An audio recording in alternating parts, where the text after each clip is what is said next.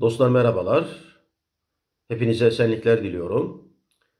Malumunuz Mayıs ayının son günlerindeyiz. Mayıs ayı Türk tarihi açısından oldukça önemlidir. Bugünler İstanbul'un fethinin yıl dönümü olarak bilinmektedir. Zaten bununla ilgili çeşitli kutlamalar veya etkinlikler yapılmaktadır.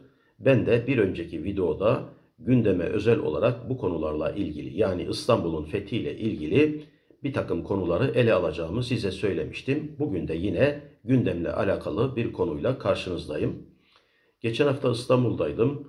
Osmanlı İstanbul'u adı altında bir sempozyum vardı. Uluslararası bir sempozyumdur. 29 Mayıs Üniversitesi tarafından her yıl periyodik olarak düzenli bir şekilde yapılmaktadır. Ben de bu etkinliğe katılmıştım ki dördüncü katılışım oldu. Burada bir bildiri sunmuştum. Bildiride Ebu Eyüp el-Ensari'nin kabrinin İstanbul'da olduğu iddialarının tarihi, dini ve kültürel değeri konusunu ele almıştım. Bu başlıkla bir bildiri sunmuştum. Dolayısıyla burada aslında o bildiriyi sizlere de sunmuş olacağım. Aslında daha önceden ben bu konuyu ele aldım. Fakat bunu bir akademik boyutta incelememiştim. Daha çok genel bilgiler üzerinden bir sunum yapmıştım. Bu sefer ciddi ciddi dersime çalıştım ve bir akademik makaleyle karşınıza çıkmış oldum. Şu anda da yazdığım metin elimde. Dolayısıyla da bu bildiriden yer yer alıntılar yapıp bu meselenin ne olduğunu enine boyuna sizlerle tartışmak istiyorum. Daha çok da burada alıntıladığım bir takım uzmanların görüşlerine de yer vereceğim ve onları da konuşturacağım. Ne ile karşı karşıya olduğumuzu da gözler önüne akademik bir bakış açısıyla sunmaya çalışacağım. Tabii sizi de sıkmamak üzere daha basit bir şekilde ifade edeceğimi, akademik dilden kurtaracağımı da belirtmek isterim. Değerli dostlar, Ebu Eyüp el-Ensari'nin kabrinin İstanbul'da olduğuna dair yaygın bir kabul vardır. Burada zaten herhangi bir tartışma yok ama gerçekten böyle midir, değil midir? O nedenle de işte bu meselenin tarihi, dini ve kültürel değeri, hatta belki siyasi değeri de diyebilirsiniz ama özellikle ben bu üç mesele üzerinden konuyu ele alacağımı baştan belirtiyorum zaten. Geleneksel rivayet örüntüsüne bakılırsa Arapların Emeviler döneminde üç kez İstanbul'u alma veya kuşatma girişiminde bulunduklarına dair bir iddia vardır. Bunların ilk ikisi Muaviye döneminde, üçüncüsü de yine bir başka Emevi halifesi olan Süleyman bin Abdülmelik döneminde gerçekleştiği iddia edilmiştir. Birinci kuşatmanın 668 ile 69 yıllarında bazı rivayetlerde 666'ya kadar gider. Hatta daha ilerisinden bir takım kuşatma girişimlerinin olduğuna dair de iddialar var ama genel olarak 668-69'da birinci kuşatma, ikinci kuşatmanın da yine Muaviye'nin halifeliği döneminde 672-74 yılları arasında gerçekleştiği iddia edilmiştir. Üçüncü kuşatma ise 715 ile 17 yılları arasında halifelik yapmış olan Süleyman bin Abdülmelik dönemindedir. Rivayetlere bakıldığı zaman Ebu Eyüp el-Ensari'nin de bu kuşatmaya katıldığına dair neredeyse müsellem bir bilgi vardır. Kronolojik verileri dikkate aldığınız zaman Ebu Eyüp el-Ensari'nin birinci sefere katılmış olması gerekiyor. Çünkü ölüm tarihi 669. Kimi rivayetlerde 672, 74 gibi ölüm tarihleri verilmişse de 669 yılında öldüğüne dair haberler daha ikna edicidir. Rivayetlere bakılırsa 668 yılında Muaviye Fedale bin Ubeyd adında bir komutanını Anadolu içlerine gönderiyor. Bu ordu Malatya'dayken Bizans'la Ermeniler arasında bir problemin olduğunu tespit ediyor ve bunun üzerine doğrudan İstanbul'a yöneliyor ve iddialara göre Kadıköy'e kadar gelip burada konaklıyor. Hatta kış ayını burada geçiriyor. Ordunun burada bir kıran geçirdiği, hastalığa duçar olduğu bu nedenle de büyük zayiat verdiğinden de bahsedilir. Bu itibarla Fedale'nin Muaviye'den yardımcı kuvvet istediği ileri sürülmüştür. İddialara göre Muaviye de oğlu Yezid komutasında bir ordu tertip etmiş ve Fedale'ye yardımcı kuvvet olarak göndermiş ki işte Ebu Eyüp el-Ensari'nin de bu orduda bulunduğu iddia edilmiştir. Ha rivayetler arasında farklı komutanları yardımcı kuvvet olarak gönderdiğine dair de iddialar vardır. Yani sadece Yezid'le sınırlı değildir onu belirteyim. Ancak Yezid'in gönderildiği iddia edilmiştir. Bu orduyla ilgili en önemli haberlerden veya iddialardan birisi Ebu Eyüp el-Ensari'nin de burada bir nefer olarak katıldığına dair iddiadır. Ancak dikkatinizi çekeyim. Bu orduda aynı zamanda İbni Abbas gibi, İbni Ömer gibi ki bunlar son derece önemli isimler. Ayrıca Abdullah bin Zübeyir gibi isimlerinde katıldığı iddia edilmiştir. Fakat dikkat ederseniz bu isimlerle ilgili hiçbir bilgi yoktur. Bütün bilgiler Ebu Eyüp el-Ensari üzerine kurgulanmış, odaklanmıştır ve adeta İstanbul'un fethinin sembol isimlerinden birisi olmuştur. Oysa diğer isimlerle ilgili de en azından yani kıyıda köşede de olsa bir şeyler söylenmesi gerekirdi fakat yoktur. Bu son derece önemli tespitlerden birisidir. Rivayetler arasında Muaviye yardım talebini haber aldığı zaman oğlunu göndermek istiyor fakat iddialarda oğlunun gitmek istemediğinden de bahsedilir.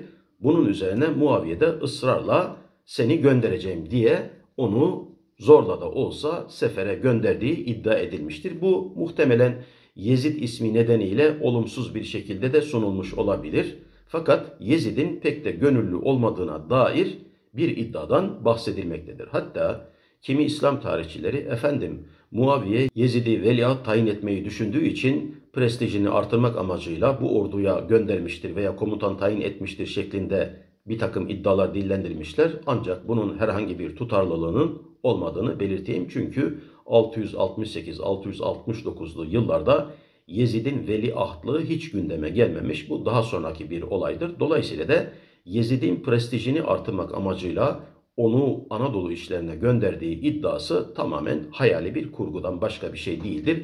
Kronolojik veriler dikkate alınmadığı için de böyle bir genelleme yapılmıştır. Bunu eliyoruz ki çok da önemli bir şey değildir.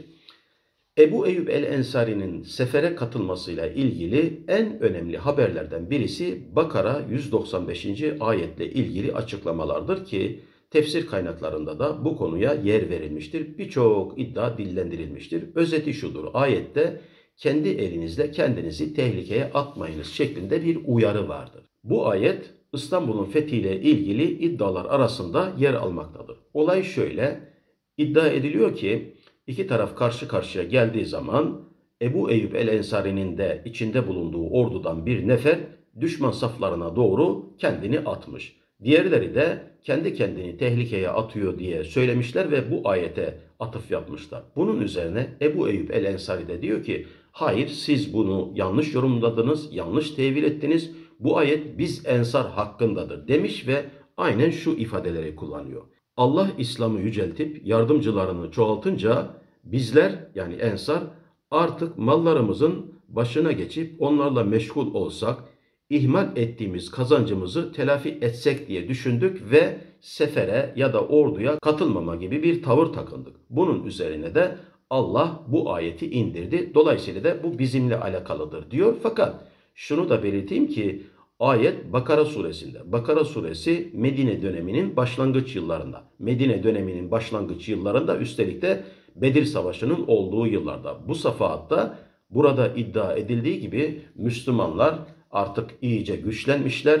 Nasılsa güçlendik bundan sonra mücadeleye gerek yok şeklinde bir düşünceye sahip değiller. Yani rivayette böyle bir iddiadan bahsediliyor fakat bu iddia kronolojik verilerle doğrulanmıyor. Tam aksine çok da sıkıntılı yılların olduğu bir dönemdir. Netice itibarıyla Ebu Eyyub'un orduya katıldığı iddiaları arasında en çok dillendirilen rivayetlerden birisi budur. Ancak bana göre bu rivayette son derece problemlidir. Özellikle de kronolojik veriler açısından. Bir başka rivayet burası da son derece önemli. Ebu Eyyub el-Ensari'nin orduya iki sebepten katıldığından bahsedilmiştir. Hemen belki aklınıza meşhur fetih hadisi gelecektir ki beni takip eden dostlarım bilirler. Bu konuyu da yarın sizlere yine paylaşacağım yıl dönümü nedeniyle. Bu rivayet kesinlikle doğru değil. Yani İstanbul'u fetheden komutan ne büyük komutan, fetheden asker ne büyük asker şeklindeki rivayetten dolayı katılmamıştır. Çünkü bu dönemlerde bu rivayet henüz üretilmemiştir. Aksine Ebu Eyüp el-Ensari'nin şu iki meseleden dolayı katıldığı söylenir. Bunlardan birisi kim Allah yolunda şirk koşmaksızın ölürse cennete girer hadisi. Yani iddialara göre Ebu Eyüp el-Ensari bu hadis nedeniyle orduya katılmış mı? Oysa ta baştan beri İslam'ın en önemli mesajlarından birisinin bu olduğunu görürsünüz. Yani Güya Ebu Eyyub El Ensari de bu mesaj nedeniyle katılmış ve cihat amaçlı gitmiş. Hadi öyle olsun. İkincisi yine bir ayete atıf yapılıyor. Tevbe suresinin 41. ayeti nedeniyle Ebu Eyyub El Ensari orduya katılmıştır. Burada da ister hafif ister ağır olarak savaşa çıkın malınız ve canınızla Allah yolunda mücadele edin. İşte Ebu Eyyub El Ensari'nin bu hadis ve ayet nedeniyle orduya katıldığına dair bir genelleme yapılmıştır. Burası da tamam. Bundan sonra geliyoruz Ebu Eyyub El Ensari'nin ölümü meselesine. Değerli dostlar, Ebu Eyyub El Ensari'nin ölümüyle ilgili iki rivayet vardır. Bunlardan birisi Ebu Eyyub El Ensari yolda vefat etmiştir. Bir ikincisi de sıcak çatışmalar sırasında vefat etmiştir. Özellikle Türk İslam kaynaklarında Ebu Eyyub El Ensari'nin sıcak çatışmaların devam ettiği sırada öldüğüne dair bir iddia vardır. Fakat bu iddia olabildiğince de gizemlidir. Birinci rivayete göre yani Ebu Eyyub El Ensari'nin yolda öldüğüne dair iddialara göre hastalanınca Ebu Eyyub komutan Yezid'e diyor ki beni ulaşabildiğiniz en son noktaya götürün ve burada defnedin. Bu rivayet Ahmet bin Hanbel'de ve müteakip dönemdeki kimi kaynaklarda yer almaktadır. Bunun üzerine ölünce Yezid de onu alıyor, güya ulaşabildikleri en son noktaya götürüyor ve defnediyor. Bugün o yerin Eyüp'te olduğu söyleniliyor fakat ne öldüğü tarih, ne öldüğü yer, ne defnedildiği mekan bellidir. Ki tarihle ilgili dediğim gibi Ebu Eyyub'un 670'te, 672'de, 674'te öldüğü gibi iddialar olsa da 669 yılında öldüğü varsayılmaktadır. Daha ikna edici veridir diye belirtmişti. Bu konuyla ilgili İbn Sa'd'dan bir rivayet aktaracağım. Çünkü konunun anlaşılmasına katkı sağlayacaktır. Ki erken dönem kaynaklardan olduğu için belirtiyorum. O da Ebu Eyyub El Ensari'nin Yezid'e şu vasiyette bulunduğunu söylüyor. Ölürsem beni düşman topraklarına götür. İmkanın ölçüsünde beni orada alıkoy. Dikkat! İmkan bulamazsan beni oraya defnederek dön diye vasiyette bulundu. Dikkat edebiliyor musunuz? Bu da yine benzer bir muhteva. Orası nere? Nereye kadar? Nereye kadar alıkoyacak? Bu cenaze birkaç gün sonra kokar. Koca ordu, kafile nereye götürüldü? Nereye kadar ordu gitti? Nerede defnedildi? Sonra nasıl bulundu? Bunlara da geleceğim tabii ama neticede herhangi bir yeri verilmiyor birinci yoruma göre yolda ölüyor ve götürülüyor bir yere defnediliyor. Bunu anladık. İkinci versiyonda ise doğrudan çarpışarak ölüyor. Hatta kendisine ok isabet ettiği, taş isabet ettiği ve bunun üzerine öldüğüne dair bir iddia vardır. Hatta bu iddiadan mütevellit olarak Ebu Eyyub'un surların dibinde öldüğü, dolayısıyla da Yezid'in de onu surların dibine defnettiğine dair haberler vardır. Kimi rivayetlerde kale olarak geçer. İddialara göre ordu başarısız olup geri çekilince Bizans imparatoru burada önemli bir şahsın defnedildiği haberini alıyor ve diyor ki bunlar çekildikten sonra gideceğim o mezarı kazacağım ve bu şahsı çıkarıp cesedini vahşi hayvanlara veya köpeklere parçalatmak üzere meydanda bırakacağım. Güya bu tehdidi Yezid duyuyor, elçi gönderiyor ona. Şayet böyle yaparsan ben de ülkemdeki veya bizim topraklarımızdaki Hristiyan mezarların tamamını tahrip ederim, kiliselerini tahrip ederim. Buna asla müsaade etmem. Bu konuyla ilgili Türk İslam kaynaklarında akıl almaz efsaneler vardır. Bunları tabi ciddiye almadığım için değerlendirmiyorum. Güya bu tehdit üzerine imparator düşüncesinden vazgeçiyor. Hatta mezarın başına bir de bekçi dikiyor. Daha sonradan burası ne hikmetse bir anda ziyaretgaha dönüşüyor. Böylece Hristiyanlar da süreç içerisinde gelip Ebu Eyyub el Ensari'nin kabrinin yanında yağmur duası yaptıklarına dair bir takım efsaneler, hikayeler ya da masallar dillendiriliyor. Böyle bir iddiadan bahsedilir. Yine Ebu Eyyub el Ensari ile ilgili bir başka iddia ise güya Ebu Eyyub İstanbul'a geldiği zaman imparatordan kimi rivayetlere göre izin alarak kimi rivayetlere göre de kılık değiştirerek Ayasofya'ya girmiş, burada ibadette bulunmuştur vesaire. Bir de böyle enteresan iddiadan bahsedilir. Her neyse netice itibarıyla Ebu Eyyub el-Ensari'nin Yezid'in ordusunda İstanbul'a kadar geldiğine dair bir rivayet var fakat yolda film kopuyor ve bundan sonrası meçhuldür. Nitekim de Yezid'in hangi güzergahı takip edip İstanbul önlerine kadar geldiğine dair herhangi bir bilgi yok. Neticede Ebu Eyyub'la ilgili anlatılan genel çerçeve bu. Gelelim şimdi kabrin bulunması meselesine. İddialara göre Fatih döneminde İstanbul muhasarası devam ederken Akşemseddin bir rüya yoluyla Ebu Eyyub el-Ensari'nin kabrini bulmuştur. En temel iddia budur. Fakat tekrar edeyim Ebu Eyyub el-Ensari'nin ne öldüğü tarih, ne öldüğü yer, ne de defnedildiği yer konusunda herhangi bir bilgi yoktur. Bu itibarla da mezarın yerinin neresi olduğu belli değildir. Bir başka husus var burada. Az önce saydığım bir takım isimler var. Abdullah bin Zübeyir gibi, İbni Ömer gibi, İbni Abbas gibi isimler. Peki bunlar ne oldu? Bunlarla ilgili niçin bir bilgi yok?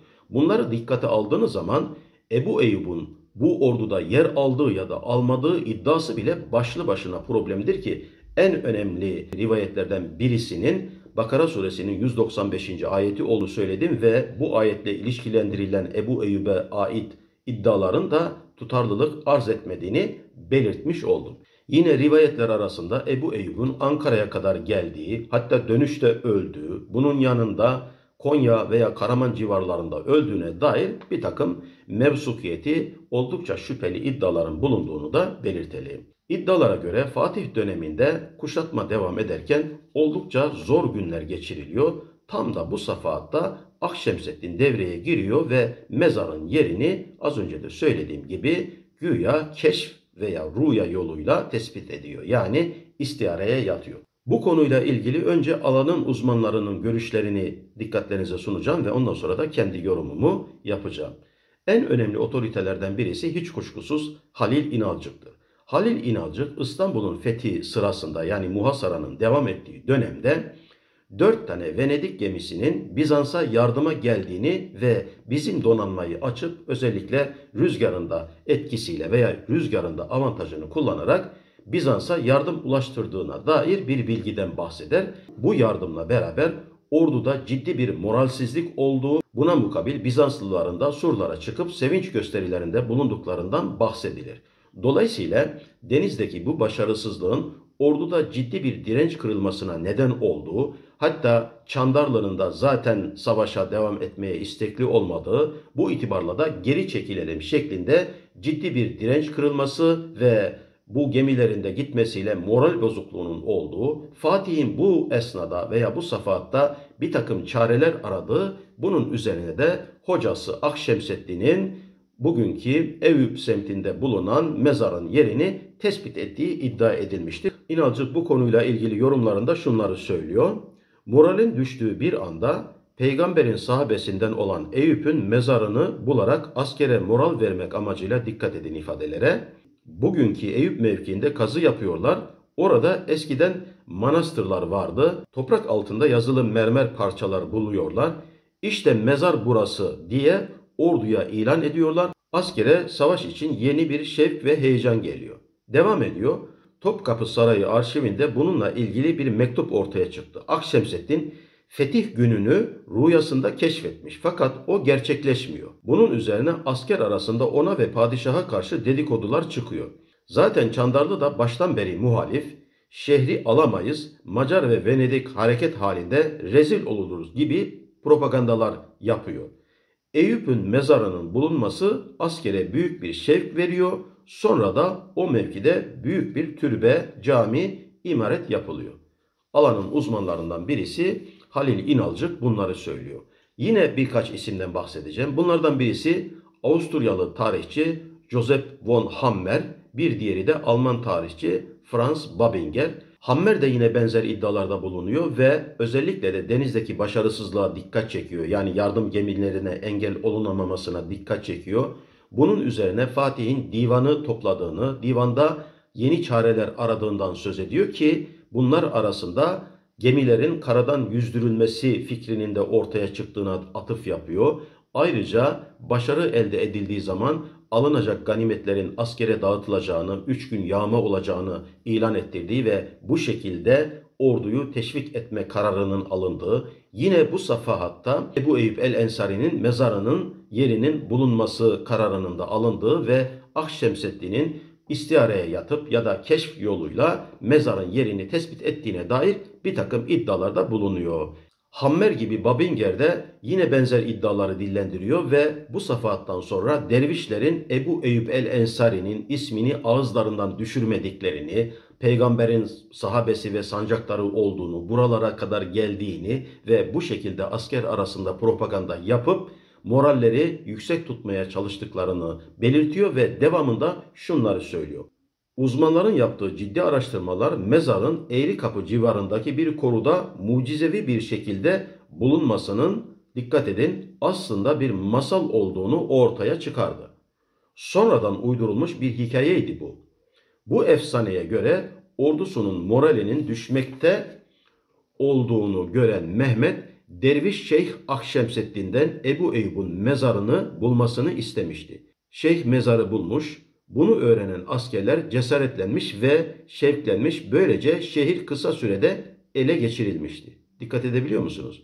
Oysa bu hikayeden dönemin kaynaklarından hiçbirisinde söz edilmemektedir. Ancak çok sonraları anlatılmaktadır. İkinci Mehmet'in İslam dünyasına hatta Mekke'ye gönderdiği mektuplardan hiçbirisinde peygamberin silah arkadaşlarından söz edilmemektedir. Malumunuz Fatih bir takım fetihnameler gönderiyor. Bunlardan birisini Mekke şerifine gönderiyor. Bir diğerini Mısır kralı Aynal'a gönderiyor. Bir diğerini İran'a gönderiyor. Fakat bunların hiçbirisinde Ebu Eyüp el-Ensari'nin mezarının bulunduğuna dair herhangi bir iddiadan söz etmiyor veya Ebu Eyüp adından zaten bahsedilmiyor ki bu fetihnamelerde herkesin kolayca ulaşabileceği kaynaklar. Görüldüğü üzere Ebu Eyüp el-Ensari'nin kabrinin gündeme gelmesi ya da mezarının bulunmasına duyulan ihtiyaçla ilgili uzmanların görüşleri bunlar. Bu aşamadan sonra özellikle Türk İslam kaynaklarında Ebu Eyyub'la ilgili akıl almaz efsaneler ve yorumlar vardır. Hatta bu konuyla ilgili bir de doktora tezi yapılmıştır ki Nursel Uyanık Er bu meseleyi doktora tezi olarak çalışmıştır. O tez yayınlanmıştır da merak edenler bu konuyla ilgili detayları buradan görebilirler. En önemlilerinden birisi kabrin bulunduğu bölgede birçok manastırın olduğu bir takım azizlerin yattığına dair tespitlerdir ki bunlara geleceğim. Bunlar arasında en önemlilerinden birisi Kozmodion olarak bilinen manastırdır.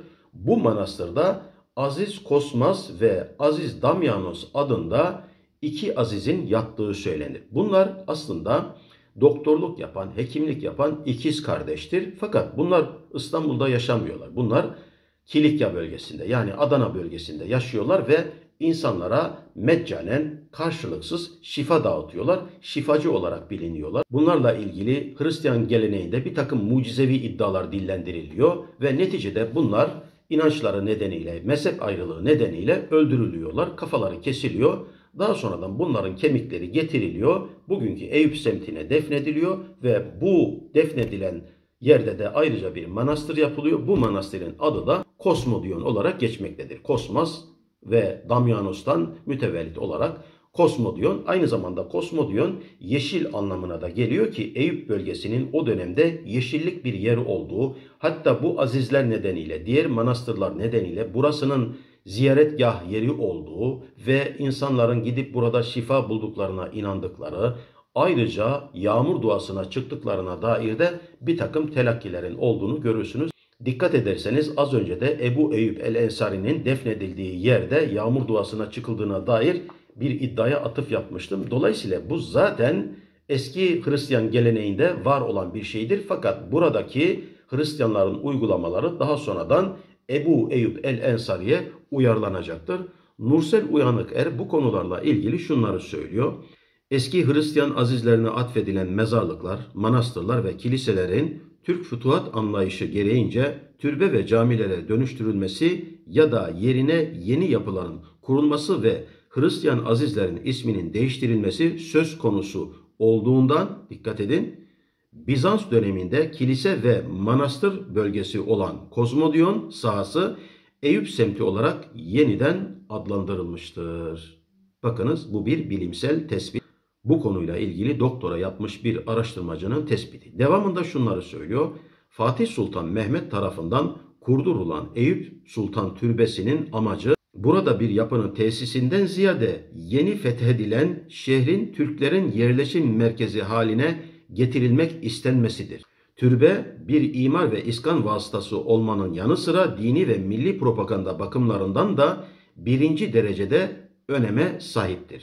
Konstantiniye seferine katılan ve bu topraklarda vefat eden Ebu Eyüp el-Ensari sadece şehrin fethini hızlandıran bir etken değil, fetihten sonra da beldenin tarihi ve dini kimliğinin oluşumunda en etkili faktör olmuştur. Böylesine devam ediyor. Yani Ebu Eyüp el-Ensari üzerinden buraya bir kutsiyet atfedildiğine dikkat çekiyor. Yine uyanık er Ebu Eyüp'ün Hristiyan halk tarafından Yob isimli bir papaz olduğunu ve bu şekilde anıldığını, onun mezarını ziyaret ettiklerini de söylüyor. Yağmur duasıyla birlikte düşündüğünüz zaman bu son derece enteresan veya manidar.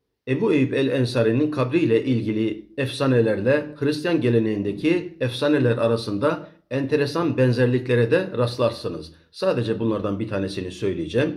Dikkat ederseniz daha önceden Hristiyan geleneğinde buranın aynı zamanda şifahane veya şifa bulunan yer olarak ziyaret edildiğinden söz etmiştim. İddialara göre İmparator 1. Justinianus ki 527-565 yılları arasında imparatorluk yapmıştır. Hastadır bu adam. Geliyor bu Kozmodion manastırında yatıyor ve burada bir rüya görüyor. Dikkat edin Akşemseddin de burada rüya görüyor. Rüyasında Etiyopyalı iki tane doktorun onu iyileştirdiği ve ayağının düzeldiği, ayağından sakat. Hatta bir başka ölünün ayağını koparıp kendisine taktıklarına dair bir rüya görüyor. Uyandığı zaman bir de bakıyor ki mucizevi bir şekilde ayağında hiçbir problem kalmamış. Dikkat ederseniz Justinianus da burada rüyaya yatıyor. Böyle bir mucizevi olay yaşıyor. Aynı şekilde Akşemseddin de burada rüyaya yatıyor ki Kozmodion da rüyaya yatıyor. Burası aynı zamanda bir manastır ve yeri de böylece tespit etmiş oluyor. Görüldüğü üzere değerli dostlar aslında Ebu Eyüp el-Ensari'nin kabrinin bulunduğu yer eskiden Hristiyanların ziyaretgahı Buraya kutsiyet atfetmişler ve burası bu yönüyle ziyaret edilen, şifa bulunan, hatta yağmur duasına çıkılan bir yerdir. Fakat fetihten sonra burayı Fatih eski Hristiyan geleneğini aynen İslam'a uyarlıyor ve burasını fethin merkezi olarak konumlandırmaya çalışıyor. Mesele bundan ibarettir. Dolayısıyla da ben az önce isimlerine atıfta bulunduğum bir takım uzmanların fetih devam ederken sıkışılan bir zamanda rüya yoluyla mezarın tespit edildiği iddiasına ilave olarak şunu söylüyorum. Gelişmelere bakılırsa mezar yerinin tespiti belki o zaman olabilir ama burası daha sonradan kutsal bir beldeye dönüştürülmüştür ki Fatih de 1458'lerde burada bir cami yapıyor ardından türbe ve imarethane yaptırıyor ve burasını adeta kutsal belde gibi düzenliyor. Hatta buraya Anadolu'dan Türkmenler getiriliyor. Özellikle Bursa'dan birçok kişi getirilip burada iskan ediliyor. Dahası Hristiyanların bu bölgede iskan edilmelerine de izin verilmiyor. Bununla ilgili de ferman çıkarılmıştır. Görüldüğü kadarıyla Fatih fetihten sonra bu bölgeyi adeta fethin sembol merkezi haline getiriyor. Nitekim de onun geleneği olarak padişahlar sefere çıkacakları zaman burada kılıç kuşanırlar. Hatta padişahlar taht değişikliği sırasında da yine buraya gelirler ve burada kılıç kuşanırlar. Aslında bu Ebu Eyyub el-Ensari'nin maneviyatından faydalanıp bu şekilde iktidarı meşrulaştırma, iktidarı onun üzerinden tahkim etme gibi bir gaye ile oluşturulmuş bir telakki. Yani mezarın burada bulunduğuna dair elimizde bir bilgi yoktur. Ancak onun ismi üzerinden daha sonradan bu bölge kutsallaştırılmış ki zaten geçmişte böyle bir yer burası ve böylece İstanbul'un sembol merkezlerinden birisine dönüştürülmüştür. Bir manevi mihmandara ihtiyaç vardır. Bu da Ebu Eyyub el-Ensari üzerinden tahkim edilmiştir. Oysa bu iddianın veya bu telakkinin önünde ya da mezarın bulunduğu yerde Ebu Eyyub'un yattığına dair iddialarda akıl almaz çelişkiler vardır. Her şeyden önce şunu tekrar belirtmiş olayım ve aynı zamanda da videoyu bitirelim. Bir kere mezarın yeri kesinlikle belli değildir. Dahası Ebu Eyyub el-Ensari'nin bu orduda yer aldığı iddiası bile başlı başına problemdir. Neden mi? Çünkü Ebu Eyyub el-Ensari Emevi karşıtı birisidir. Sıffin'de Muaviye'ye karşı savaşmıştır. ve Muaviye de etik olmayan yollarla iktidara gelmiştir. Böyle bir ismin Muaviye'nin ordusunda yer alması ve bu şekilde sembol isim olması iddiası bana çok inandırıcı gelmiyor. Diğer yandan aynı orduda Abdullah bin Ömer, Abdullah bin Abbas ki İbn Abbas diye bilinir. Ayrıca Abdullah bin Zübeyir, 3 Abdullah katılıyor ki bunlar arasında Abdullah bin Zübeyir'in de sıkı bir Emevi muhalifi olduğunu da yine belirtmiş olayım. Gördüğünüz üzere bunlara bakıldığı zaman bu orduda Ebu Eyüp el-Ensari'nin olduğu iddiası bile başlı başına muammadır. Çünkü bu isimlerle ilgili de hiçbir veri, hiçbir bilgi yoktur. Oysa madem Ebu Eyüp el-Ensari buraya kadar geldi, bu isimlere ne oldu? Bunlarla ilgili niçin bir bilgi yok? Kaldı ki gelip gelmediği konusu bile meçhuldur. Az önce söylediğim gibi Fatih'in gönderdiği fetihnamelerin hiçbirisinde bu isme yer verilmemesi de son derece muammadır. E diğer yandan Ebu Eyüp el-Ensari 90 yaşlarındadır. 90 yaşlarındaki bir adam acaba İstanbul'a kadar nasıl gelebilir? Bunu dikkate aldığınız zaman iddia bir o kadar daha çıkmaza giriyor. Bir başka bir şey görüldüğü kadarıyla muhasara devam ederken özellikle de denizde yaşanılan başarısızlığı bertaraf etmek üzere Ebu Eyüp el-Ensari fikri ortaya atılıyor ve bu safahatta kabrin bulunduğuna dair bir iddiayla beraber ordu yeniden teşvik ediliyor ve askere cesaret vermek amacıyla böyle bir şey düzenleniyor. Nitekim de bütün rivayetleri tarayın.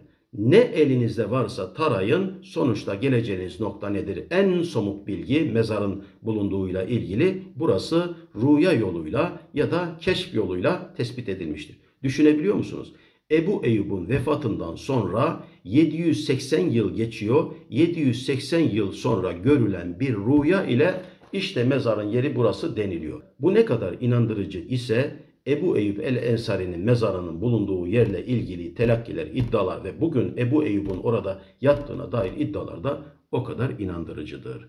Dolayısıyla da bir fetih hikayesi yazmak için Ebu Eyyub el-Ensari ismi üzerinden böyle bir fikir ortaya atılmış fakat bunu tefsik edecek elimizde hiçbir bilgi yok.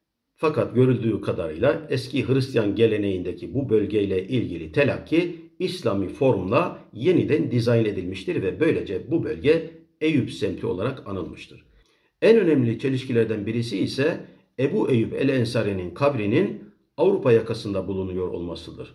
Oysa rivayetlere bakılırsa Ebu Eyüp el-Ensari'nin de içinde bulunduğu ordu karadan gelmiştir. Peki nasıl oluyor da Ebu Eyüp el-Ensari'nin kabri karşı tarafta yer alıyor? Oysa birinci orduda donanma ile muhasara edildiğine dair elimizde en ufak bir veri yoktur.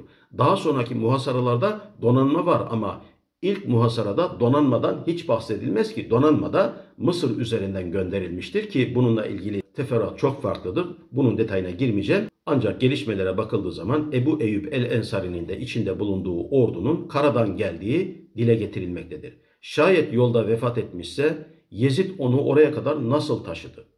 Düşünün ne kadar efsanelerle iç içe geçmiş bir iddiayla karşı karşıyayız. Son olarak şunu da söyleyeyim. Rivayetler arasında veya iddialar arasında güya kabrin yeri kazıldığı zaman oradan bir mermer kitabe çıkarılıyor ve bu mermer kitabede de bu Ebu Eyyub'un kabridir diye yazıyormuş. Peki bu yazı nerede? Kimi yorumlarda ise bu yazının İbranice olduğu söyleniliyor. Peki İbranice yazmanın anlamı ne? Yani Araplar Arapça yazmayı bilmiyorlar mı? Madem Ebu Eyyub'un kabridir burası. Ya da İbranice bile olsa bu kitabe nerededir? Acaba böyle bir şey bulunsa bunu hemen askere ifşa etmezler mi? Bunları ve benzer soruları sorduğunuz zaman koca bir muammayla karşı karşıyasınız. Peki hocam bütün bunları tespit ettik ve Ebu Eyüp El Ensari'nin kabrinin burada olmadığını ortaya koyduk. Bunun bize faydası nedir? Bizim dindarlığımıza faydası nedir veya zararı nedir diye sorabilirsiniz. Herhangi bir zararı, faydasından bahsetmiyorum. Biz araştırmacılar tarihi verileri alırız, insanların önüne koyarız. İnsanlar neye inandığını, inanmadığını bilsinler. Bunu yaparız. Araştırma ve bilimsel ciddiyet bunu gerektirir. İnsanların inandıklarına elbette ki saygılıyız. Bugün orası kutsiyet atfedilen bir yerdir. Ben her ne kadar mezarın orada olmadığını söylesem de yine insanlar oraya gidecekler, ziyaret edecekler. Vaktiyle ben de gittim orada namaz kıldım. Bu ayrı bir şeydir. Fakat bilimsel gerçekler ayrı bir şeydir. Bunları da bilmek gerekiyor. Bunlarla yüzleşmek gerekiyor. Buraya kutsiyet atfedilmesin demiyorum. Bu manevi bir atmosfer oluşturan mekan olarak dizayn edilmiştir. Ama bilin ki Ebu Eyyub el-Ensari kesinlikle burada yatmamaktadır.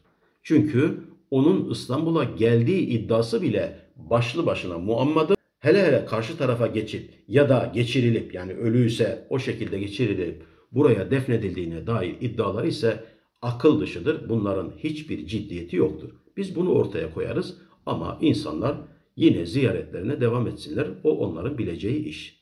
Umarım dikkatinizi çekmiştir. Dinlediğiniz için teşekkürler ediyorum. Bir başka videoda görüşmek dileğiyle. Kendinize iyi bakın. Hoşçakalın.